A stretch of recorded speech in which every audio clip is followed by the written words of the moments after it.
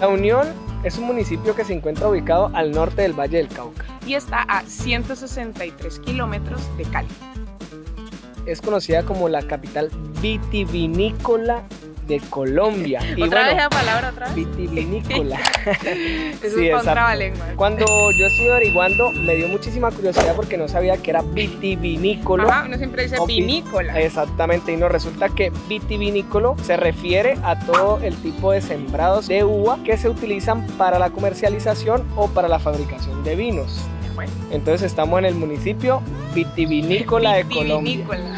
Palabra Vamos a hacer un reto challenge. Un challenge con vitivinícola. Aquí en La Unión se encuentra ubicado este parque que es en el que estamos. Este es el Parque Nacional de la Uva. Creo que es único, ¿no? Único aquí en Colombia. Es único porque no conocía, o por lo menos yo no lo conocía, de que hubiera en Colombia un parque dedicado solamente a la uva. Y bueno, esto tiene una historia muy, muy bacana que les vamos a contar.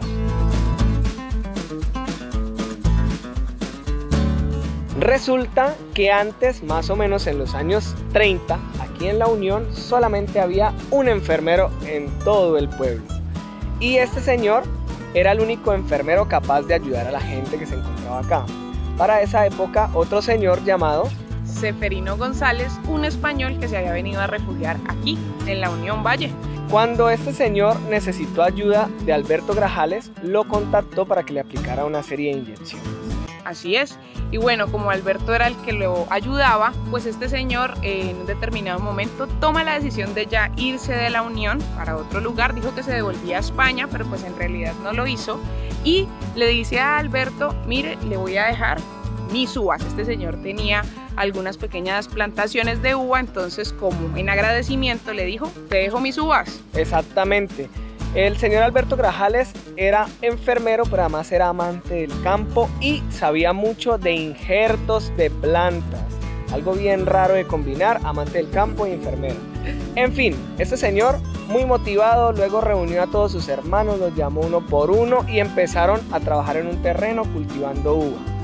Sí, este señor también se puso entonces a mirar cuáles eran los mejores injertos para que estas uvas se pudieran dar y no se infestaran de las diferentes plagas. Es una planta difícil de sostener. Entonces él empezó a hacer sus investigaciones, sus averiguaciones, lo logró y empezó a trabajar con sus hermanos. Exactamente. Al comienzo ellos tenían un terreno muy pequeño, pero empezaron a hablar con las personas, sus vecinos que tenían terrenos aledaños y le dijeron, hey brother, necesito que me fíes tu terreno necesito seguir plantando estas uvas, necesito seguir creciendo mi empresa. Y la gente toda bacana acá en la Unión le dijo, hey brother, cógelo, trabájalo y luego me paga. Y efectivamente así se hizo hasta que llegó a ser una planta de uvas o una, un sembrado de uvas del tamaño que es el día de hoy. Estas uvas son muy conocidas, eh, no solamente aquí en Colombia, las uvas de Casa Grajales, yo creo que ustedes ya han escuchado ese nombre por ahí, son muy conocidas porque ellos exportan la uva como tal. También fabrican el vino, pero este no lo exportan. Inició el recorrido aquí y estamos literalmente caminando bajo los viñedos. Aquí ustedes pueden ver que, que justo... me llevo una Aquí hay un problema, si usted es alto, los viñedos son bastante bajitos, me acabo de dar cuenta, o sea que uno va tropezando. Con la suba a medida que va caminando voy esquivando. Puedo ir abriendo la boca también. No problema. Eh, tuvimos suerte porque nos contaban varias, varios amigos que ya habían venido que a veces vienen y encuentran la cosecha completamente verde. Nosotros no, nosotros encontramos ya frutos maduros. Y bueno, en este lugar en el que estamos caminando es la primera etapa del recorrido. Se llama Sendero de la Vida. Para hacerles un poquito o explicarles un poquito de qué se trata el parque. Este parque es un lugar temático y todo gira alrededor de la uva. Pero también vamos a encontrar lugares que son especiales de caña de azúcar y de café. Además de eso también vamos a encontrar un lago con especies de aves y tortugas y otras especies de animales, una granja para los niños si vienen en familia Miren esa uva, por Miren esta maravilla, ¿no? Listo. Espectacular. Y vamos a encontrar también un pequeño zoológico. Este es un plan bastante familiar, pero nosotros lo estamos haciendo porque realmente somos amantes, amantes del vino. Si ustedes han visto nuestras historias de Instagram, ya se habrán dado cuenta que nos encanta el vino. Exactamente, entonces bueno, aquí en este lugar en el que estamos caminando vamos a encontrar tres tipos de uva distintos. Paola se los aprendió y si, y si Paola comete algún error, ella asume la consecuencia. No, no. La guía asume la consecuencia. Me dijeron que aquí hay tres tipos de uva. Una es la uva Italia, que es la más, eh, la verdecita. La encontramos más al principio de nuestro recorrido. La segunda es la uva roja o chilena. Y la tercera es la uva Isabel, que es la típica, la que más conocemos por aquí. Exactamente. Creo que ahora estamos caminando por la uva roja. Sí, sí, esta uva se ve muy La dulce. rojita. Esta es la que dicen que la piel es dulce igual que el fruto. La uva Isabela no, la uva Isabela es roja igual, Más pero moradita, ¿no? es un poquito más morada, pero su cáscara no es dulce, Es amarga. Pero su fruto es muy rico. increíble.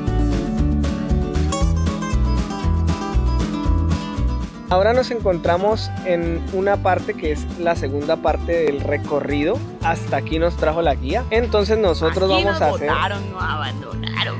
Vamos a hacer nuestros propios guías. Al parecer pensamos que el recorrido era guiado completamente, pero no. Hasta aquí llegó la guía. Pero al parecer más adelante vamos a encontrar otros puntos donde van a haber personas que nos van a ir contando un poquito más. Pero bueno, ya aprendimos bastante y les contamos lo siguiente. Bueno, resulta que en el siglo XVI, cuando ya España había conquistado bastantes territorios, los productores de uva de España se empezaron a quejar porque en esos territorios habían bastantes sembrados de uva y no les iba bien. Entonces le dijeron a la corona española que por favor prohibiera que se cultivara la uva en los territorios conquistados por España y así se hizo. Entonces pasó bastante, bastante tiempo y más o menos por allá en 1870 y algo volvieron a traer la uva a las comunidades, a las regiones conquistadas por España, pero con una razón por detrás y esta razón era que se incentivara el consumo del vino para erradicar el consumo de la chicha. Entonces imaginen, nos dejaron vino y nos quitaron chicha.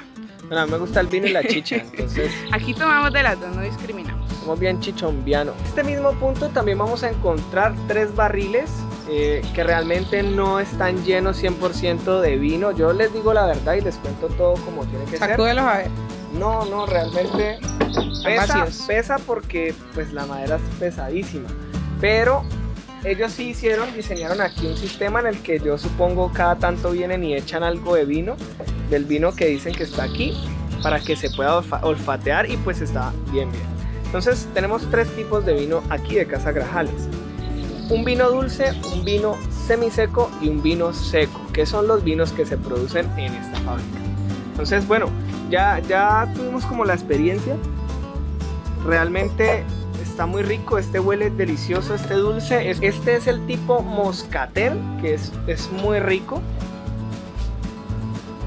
Este de una se siente mucho más seco, no sé qué tipo es este, por eso nos falta la guía, pero sigamos aquí. Y este es el seco completamente. La verdad es que la diferencia entre los tres olores es mucha. Pensaría uno que no, pero sí es mucha.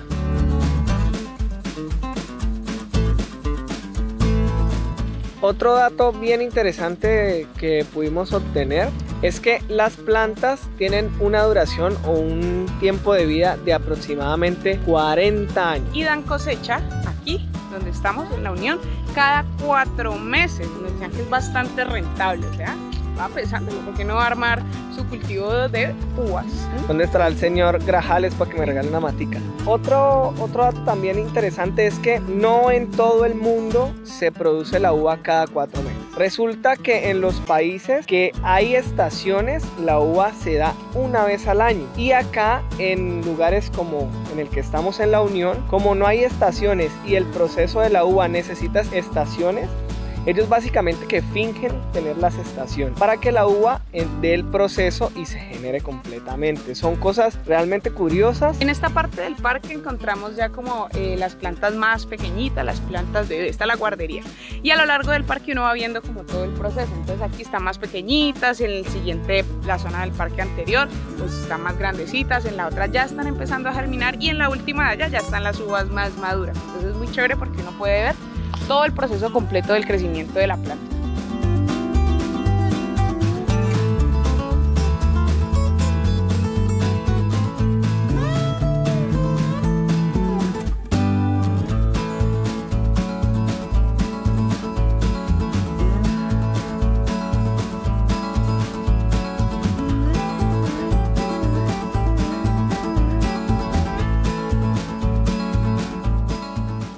Juguito que... ¡Uh, qué jugo tan delicioso! Sí, fortalece el sistema inmunológico. Lo bueno del jugo de la uva Isabela es que está llena de antioxidantes y es una uva que sigue siendo genéticamente pura. No ha tenido modificación Esta alguna. no tiene injertos. No, no, no ha tenido modificación en su estructura genética. Entonces es una maravilla de uva para fortalecer el sistema inmunológico, por ejemplo. Una persona que empieza a consumir uva Isabela lo que hace es alcalinizar el cuerpo.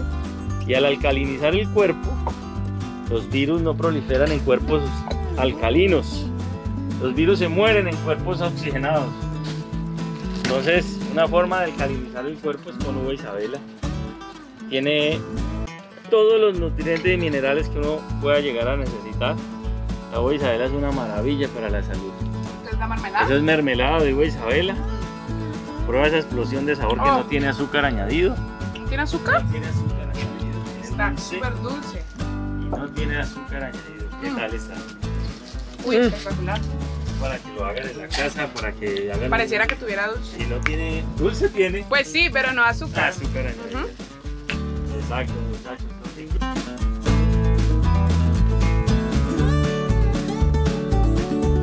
Acabamos de salir de un lugar muy chévere, estuvo buenísimo, eh, donde pudimos probar muchísimos productos de uva que salen de aquí, de este lugar, de Casagrajales, de los cultivos de uva. Probamos un juguito de uva Isabela, pero o sea, ustedes no se imaginan, tremendo jugo el que probamos, estaba riquísimo. También probamos una mermelada de uva que, pff, o sea, una cosa de Increíble locos. porque es bien dulce y no tiene azúcar añadido. O sea, nada más el dulcecito de la uva. De dulces son. Entonces, bueno, aprendimos muchísimas cosas acerca del vino. Nos dieron una charla que realmente no fue, no viene incluida dentro del tour, pero el- la persona que estaba ahí muy, muy, muy bacana nos atendió, nos recomendó muchísimas cosas y nos contaba algo súper importante que les queremos contar. Bueno, nos hablaba de primero de los diferentes tipos de vinos. ¿Se acuerdan que habían unos barrilcitos allá que les estábamos contando que había un vino seco, un vino semiseco y un vino dulce? Y nos contaba que esto se debe a la cantidad de azúcar residual que dejan en el vino. Entonces, en el caso de los vinos secos, tienen máximo hasta un 5% de azúcar Residual. residual, sí, sí, es la que le, le queda después de todo el proceso que pasa, no más 5% para que sea un vino seco. Si tiene más de 5%, ya no es un vino seco. Viene a ser un, un vino semiseco que está entre 10 y 5% de azúcar. Luego de eso tenemos Un abocado, que es el que ya tiene más o menos entre un 10 y un 14% de azúcar residual, y a partir de ahí ya vienen los vinos semidulces y dulces que pueden tener incluso hasta un 40% o 50%. por ciento de azúcar residual. Entonces, bueno, un dato súper importante No sabíamos, No y eso que nos sabíamos. gusta el vinito. Estamos aprendiendo muchísimo. Aprendimos también mucho que los taninos vienen de la semilla y de la piel de la uva. ¿Listo? Los taninos son los culpables de generar esa sensación como seca en los dientes. Cuando tú tomas un vino tinto y se te secan los dientes es porque tiene bastantes taninos. Y además se pueden encontrar mayor cantidad de taninos en los vinos tintos. Es el que- culpable que no le guste a mucha gente. Exactamente, encontramos más taninos en los vinos tintos que en los vinos blancos.